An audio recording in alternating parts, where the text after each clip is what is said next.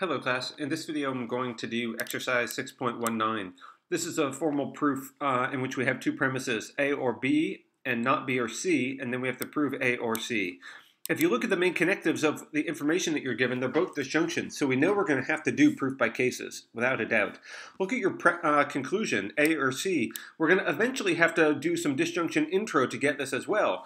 But the simple-minded plan would be to say, all right, let's prove one of these, one of these, like let's prove A, and then we'll just get A or C by disjunction intro uh, on our final line. Well, that's not going to work in general because that would be too easy.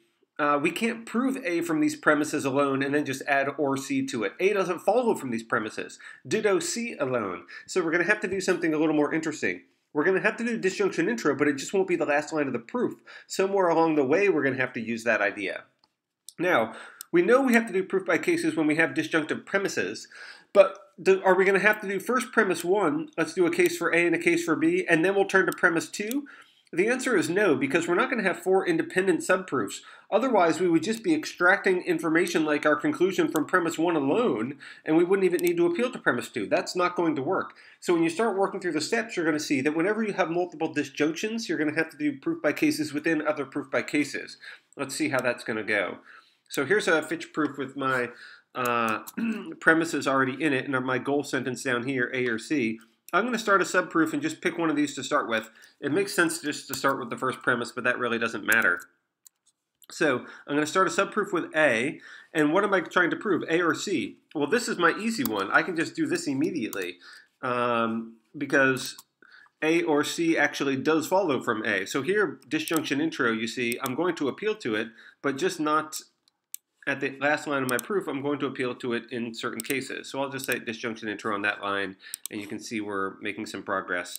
Okay, so now what I need to do is end that subproof and then start a new one. So I'll start another subproof here. And what do I need to put in this? Well, I started one with A, so I have to have my coordinate, my other subproof for with B. Otherwise, it's not going to um, check out properly. So now I, oops, uh, I didn't mean to do that. Now I need a subproof with B. Okay, how am I now going to prove A or C here? Now we hit the stumbling block. A or C doesn't follow at all from this, let alone A following or C following. So I'm going to have to appeal to some other information. Clearly, premise 2 was the thing that I'm going to have to appeal to. How do I appeal to premise 2, however, within this B subproof? Well, it just means I need a subproof inside the subproof. So now I'm going to uh, start another subproof here. And what do I put in the assumption line of this subproof? I'm using this information, and the way you use disjunctive information is always proof by cases. So now I need a subproof for this one. My first disjunct is not B, so I need a subproof assuming not B. And now, in this subproof, I need to add end it with A or C. this is the slightly counterintuitive case because you might be wondering why does A or C follow from this? You have to remember we're still in the main B subproof. That's the point of this being nested inside the other one. This information is still available to us.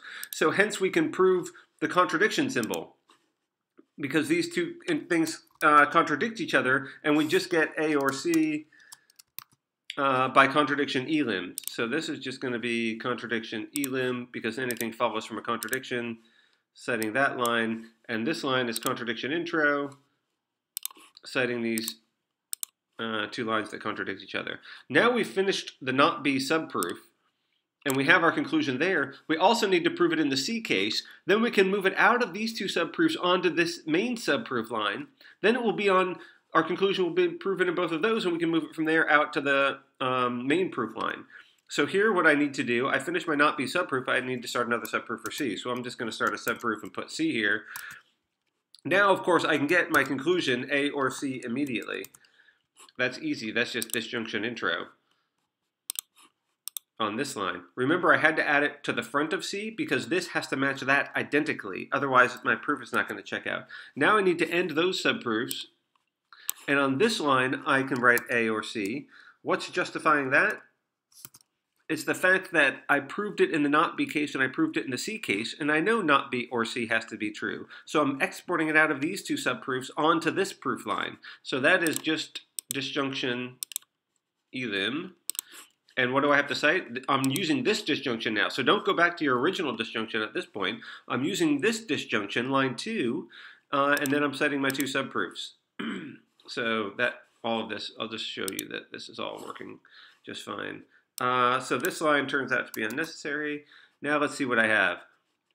I have uh, my subproofs proven in my A case, I can get A or C, and in my B case, I can now get A or C. So now, from this disjunction, I can just uh, infer my final conclusion. So now I can get A or C on my final line. Notice, uh, if I could make this bigger, it would be helpful. Here we go.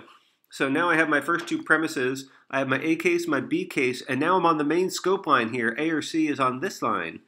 Uh, I'm exporting it out of my B and my A cases. So this is just disjunction elim citing this disjunction now because I'm moving out of those two subproofs. And then, of course, I have to cite the subproofs. And now everything should be just A-OK. Notice how many times A or C appears in here.